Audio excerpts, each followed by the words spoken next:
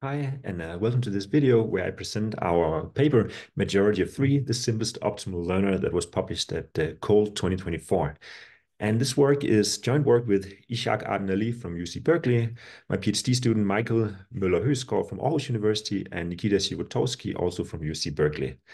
And a big thanks for Michael uh, for making most of these uh, slides in this presentation. Okay, so, so what's the result and the topic of this work? And so the basic setup that we're looking at is binary classification in the so-called realizable case. Uh, first, I'm just going to give a kind of sketched definition of this setup, and then I'm going to be a little bit more formal uh, afterwards. So basically, we're looking at a learning task, machine learning task, where uh, we have to do binary classification. So for instance, we get pictures of image, we get images of animals, and we have to say whether this is a picture of a mammal or not, right? So there are two classes, yes and no.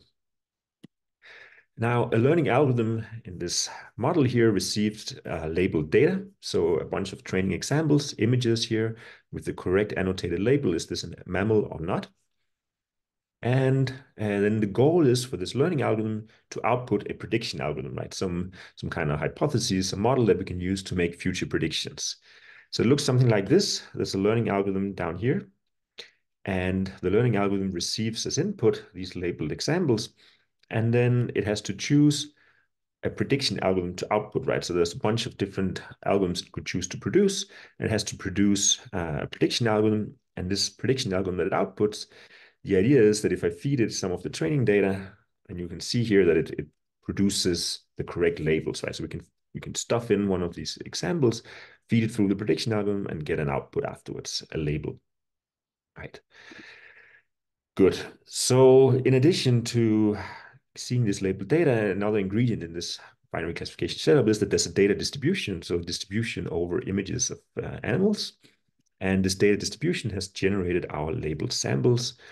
And uh, furthermore, right, the goal now for this learning algorithm, uh, the prediction algorithm that it outputs uh, should produce correct predictions and these predictions should be correct under the data distribution that we care about, right? So the goal is that if I get a new element from the same data distribution, then hopefully I will be able to predict its label correctly, right?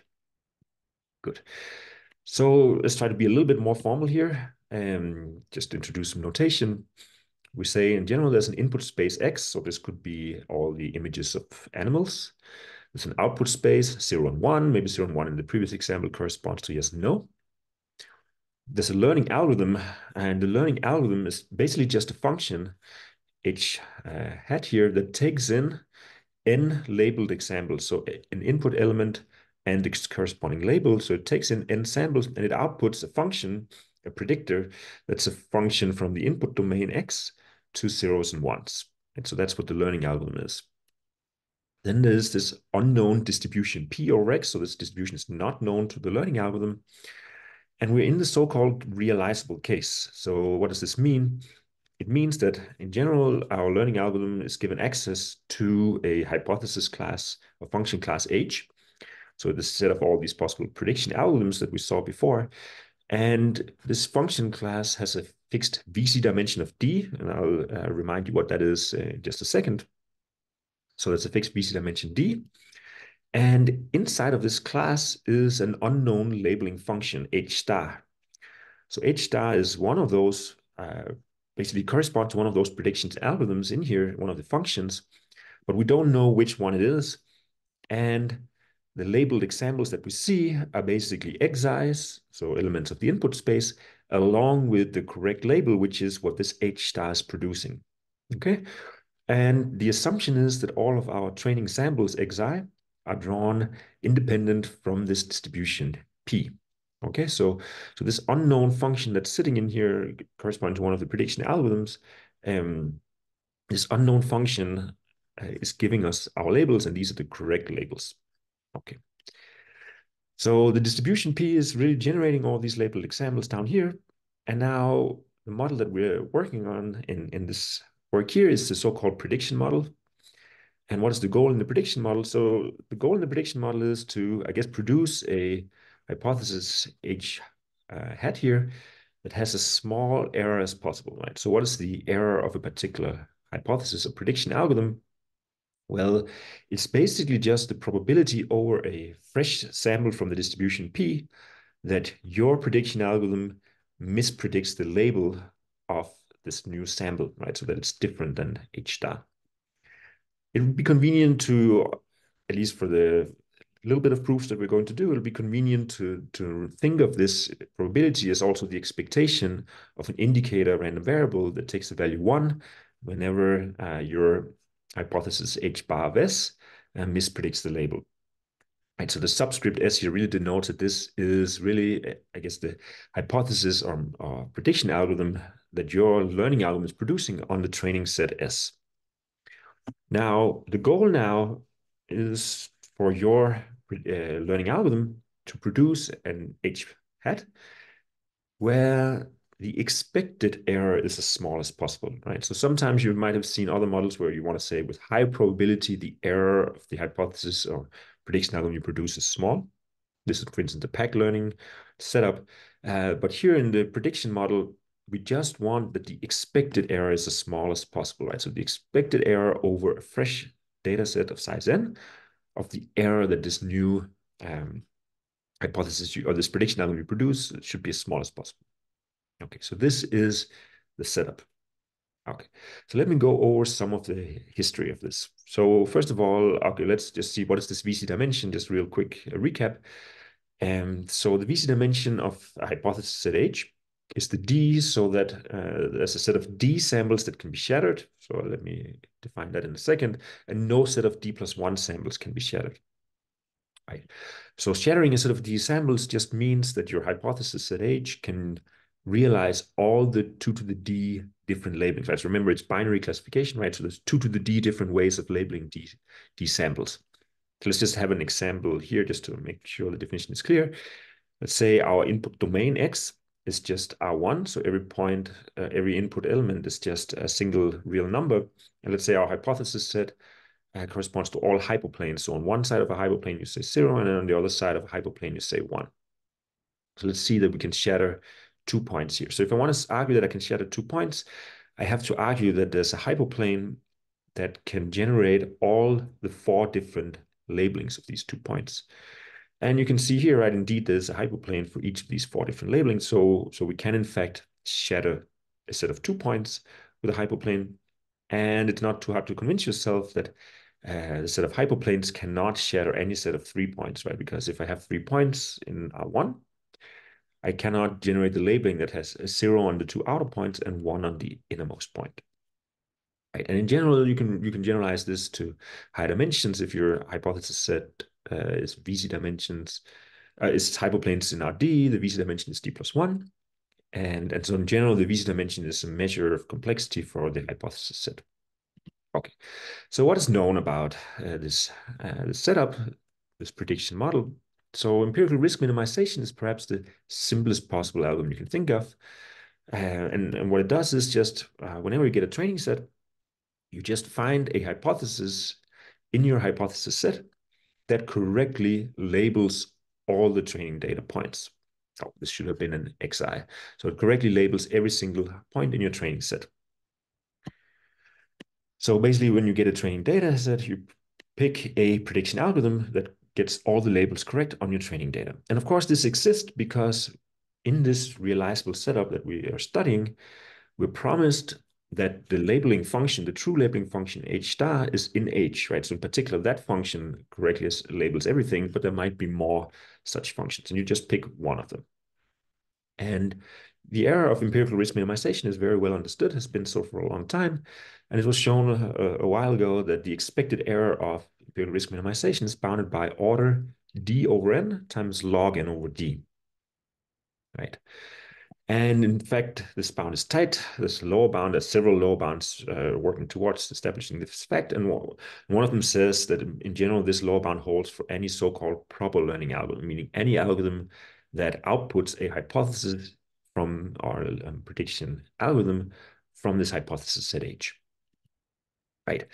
You could also say, what if uh, my learning algorithm is out output something that's not in the hypothesis set? So you can output a general uh, prediction algorithm, And then the only lower bound for so-called improper uh, learning algorithms is omega d over n, right? So there's this gap of this log n over d factor between the two.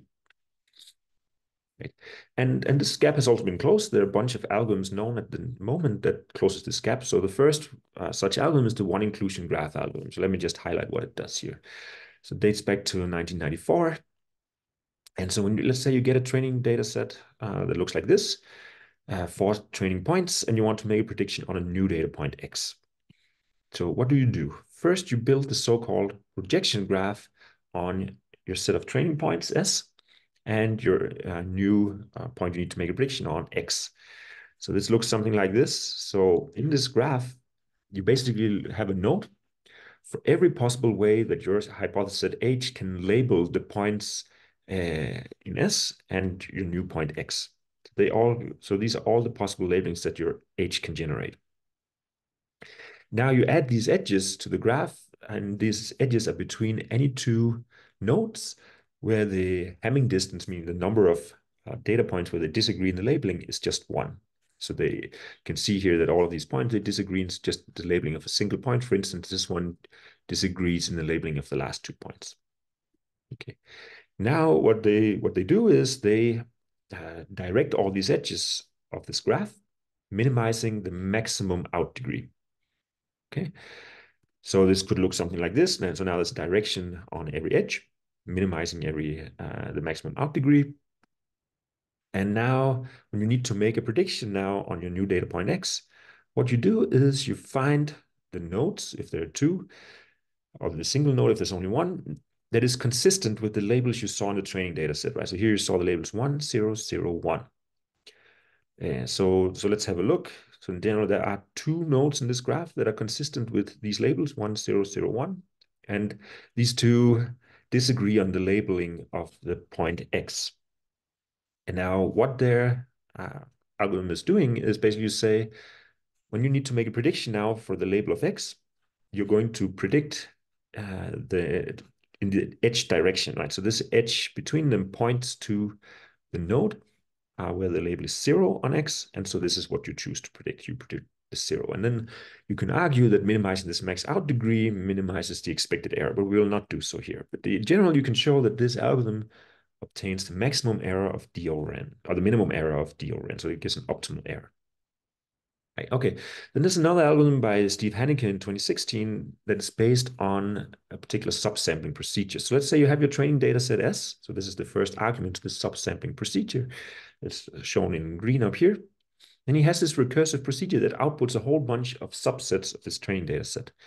We have a base case, uh, which we're not in yet, where just if you have at most three data points left, you output uh, the union of this S and this T that we haven't uh, said what is yet. Otherwise, you split your data set into four pieces of equal size. And so in this case here, we split our training data set into four pieces. And now we're going to do three recursive calls and in each of these recursive calls, uh, the new S, the new training set, is only the first chunk here. And then you add two of the remaining three chunks to T. So it's going to do a recursive call that looks like this. Going to do a recursive call that looks like this, and a recursive call that looks like this. Now, if we look again at this, the first recursive call, we're still not at the base case. There's still four data points left. So we split them into four and we do three recursive calls where we add two of the three pieces here to T, right? So we get all of these recursive calls. And finally, we're in the base case now. The size of S is less than three, and we're going to output this pink subset of the original training data, right? So each of these squares is just a training data point. And we're going to output all of these different training samples. So these are subsets of the training data set. Right? To combine them all from all these recursive calls, we get all of these many different pink subsets of the original training data set. Right. So what does uh, Steve Hanneke's algorithm then do? Given all of these subsets, his learning algorithm, basically you, you have all these sets as 1 to as 9 in this case.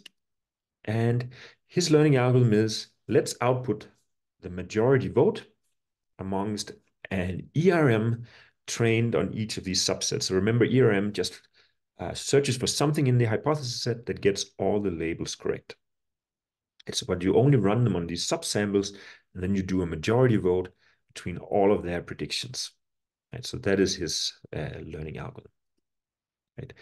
And this is far from trivial, but you could also show that uh, the error of this learning algorithm that Steve has uh, has designed here is also the optimal d over n. But there are quite a lot of these subsamples here. Uh, if you work out the math, it'll be about n to the 0.79 many subsamples. Okay. Let me show you one more example of an optimal algorithm. Uh, it's this basically bagging by Breiman from 1996, but the proof is, is mine from uh, last year. So what you could also do is I have a training data set S. Now I'm going to do log S rounds of sampling uh, with replacement from S. So what I do is I sample a subset Si of size uh, the trained data set half, so size of S half, and with replacement. So basically I have my data set here. I'm going to sample this one by just picking points at random with replacement so I can get multiple copies of the same data point. And I sample a set of sizes half. I repeat log S times. And now when I have these log S many subsamples uh, sampled with replacement, similarly to Steve Hanneke's algorithm, uh, you run empirical risk minimization on each of these pink subsets, and your final prediction algorithm is just a majority vote amongst the predictions that these uh, log as many uh, produce. You can show also that this algorithm has an expected error of d over n. Good.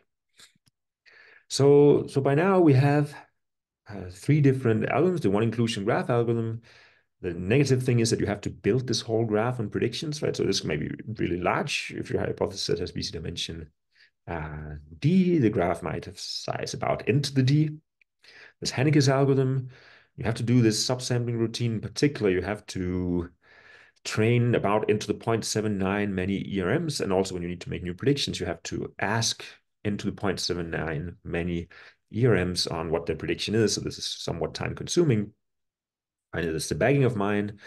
You have to do the bagging subroutine. So you get like this logarithmic overhead as well. Uh, you have to query logarithmically many ERMs. So of course, this is much better than a algorithm, but you know, maybe this log n is, is still a little unsatisfactory. So the question we ask in, in this work is really, what is the simplest optimal algorithm in this prediction model? Right. So the algorithm we propose is a simple majority of three algorithms. So what do we do? It's basically the easiest or simplest you can imagine. Take your trading data set S, partition it into three pieces, disjoint pieces of equal size, call them S1, S2, S3, and run empirical risk minimization on each of them and output a majority vote. Right, so it's uh, basically the simplest you can imagine, right? Because we know from previous law bounds that any optimal algorithm has to be improper, so it cannot just output something from the hypothesis class. If you want to do something that's improper, well, a majority of three is basically the easiest you can imagine, right? Because majority of two is not really defined if they disagree. So majority of three is, is really the simplest imaginable. No overlap, just disjoint pieces of equal size. That's it right? So our main result is that this simple algorithm also has an expected error of order d over n, right? So I'll spend the last bit of the of this uh, video just highlighting the proof ideas, right? And even maybe even the algorithm is much much simpler than before. The proof is actually also much simpler, right? So so what do we what do we observe? So the first key observation or simple observation is that um, well, if the majority errs, so if I have trained three ERMs, for the majority to error, there has to be two of the of the ones of the simple ERMs that err, right? So if this is my input, this is the whole input domain X, there's some labels on every element of the input domain. This is the correct labels. And now if I look at the labels assigned by the three ERMs trained on S1, S2, and S3, if they assign labels like this, then for me to err, uh, two of the three have to be wrong, right? So this is what happens in these uh, four columns, right? So two out of the three has to err for the majority to err. This is a super simple observation. Okay. Furthermore, right, these prediction algorithms that I output H sub SIs, they are IID, right? So they have the same distribution, the prediction algorithm output. Why is this?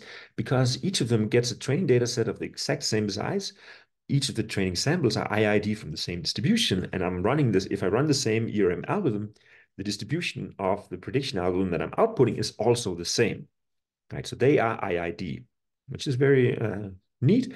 So what can I do now? So let's try and, and bound the expected error of this majority vote. Okay, so this is just the expected error over a training data set of size n of the error of this majority vote. So what is it defined as? Well, just if we plug in the definition of the error, the definition of the error is just the expectation over a fresh data point of this indicator random variable that takes the value one if my majority vote is wrong. Now, what do I do here? Basically, what I observe is, again, that at least two of the three has have to err. And well, how many choices are there for which two out of the three that errs? Well, either is one and is two error, is one and is three errors, or is two and is three errors. Okay, because the IID, the chance that is one and is two error, uh, or is one and is three error, or is two and is three error is the same.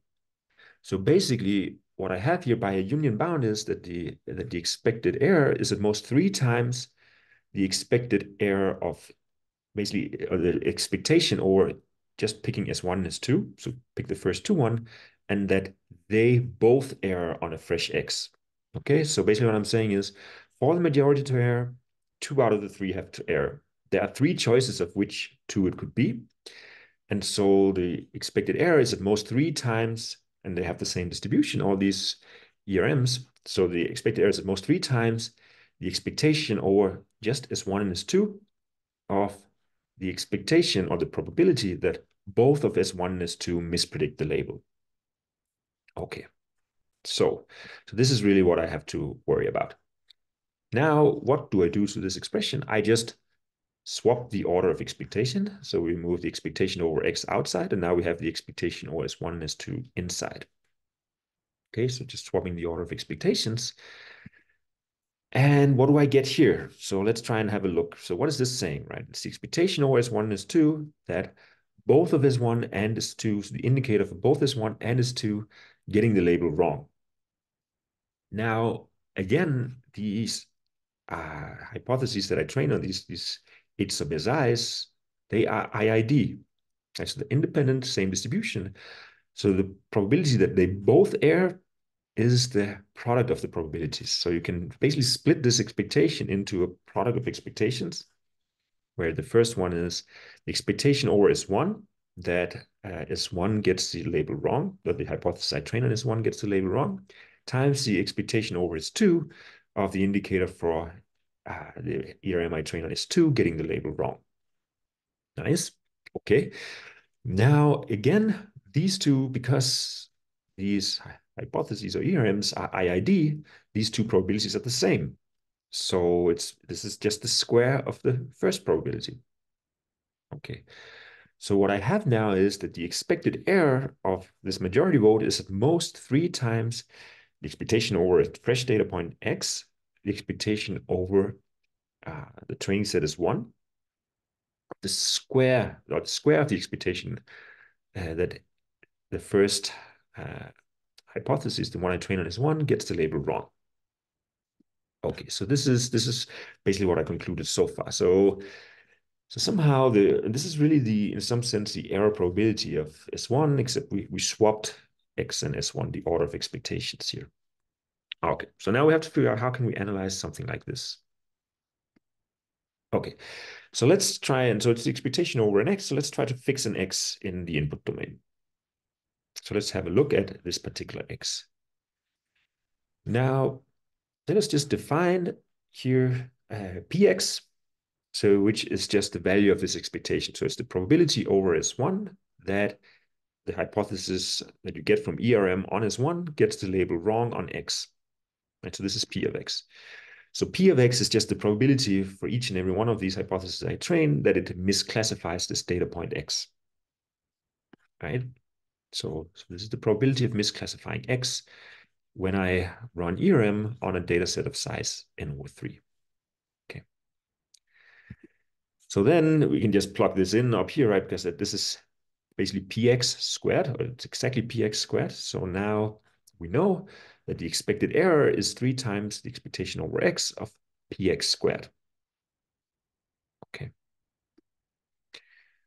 So the last idea now, the key idea is let us try to partition the input domain into different sets Ri, depending on how often this ERM that I train, a single ERM, misclassifies the data point X.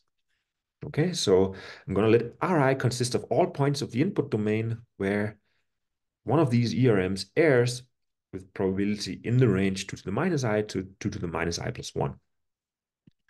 So in some sense, right, or, or if you think about it, R1 is basically the set of points in the input domain where our ERM often fails, right, almost all the time. R2 is where they err a little less, so the error lies between, uh, well, a quarter and a half. And R3, again, they err less than before, and so on. So basically, we just partition the input domain into regions depending on how often does ERM fail on a data point in this region. Okay. So then we can basically split our error, this uh, expectation over x, px squared, is basically into the sum here. So a sum from 1 to infinity, so a sum over all the different ranges are. And then I look at what is the probability that x falls inside this range and if it and then times the expectation of px squared conditioned on x lying in this range. So I write it like this.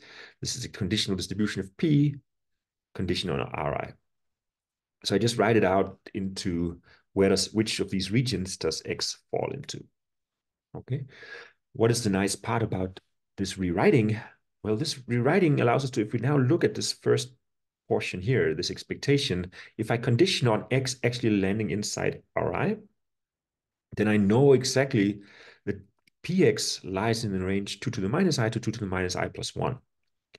So I can upper bound px by 2 to the minus i plus 1 for every single x here, and then I square it, so then this is upper bounded by 2 to the minus 2i plus 2.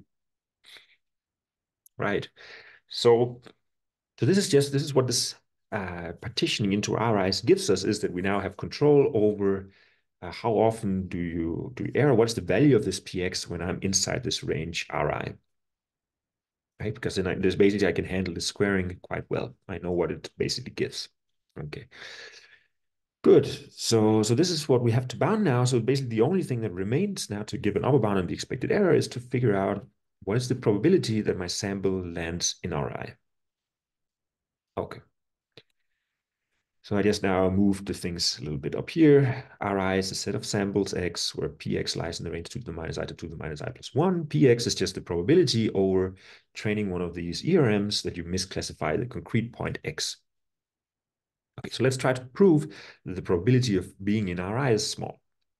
Now, in, intuitively, right, uh, Ri's, the red Ri here, R1, is such that you that your overall ERM often errors in here. Every single point in this uh, region, your ERM often errors. So you want to argue that this region has to be small. Okay, so why is this? So first of all, how many training samples do we expect to see from this region? Well, we expect to see exactly, well, the size of this one, this is what we care about, right? This is n over 3, times the probability of lying in this region. This is the number of training samples we expect to see from this range when we're training uh, this uh, this H sub S1. Okay, so, so this is, this is how many samples we expect to see from here. Now, we're in the realizable case. So this is important here, remembering this means that we run ERM and we find a hypothesis that correctly labels every single training point in its input data set. So it correctly labels everything in S1 which means in particular it also correctly labels everything from S1 that also lies in Ri. Okay, so it's correct on all these NI data points. And now basically we can use these old results uh, on ERM showing that if you look into the details, it basically says that every single ERM that correctly labels all the data points uh, in this region also has an error of d over n times log n over d.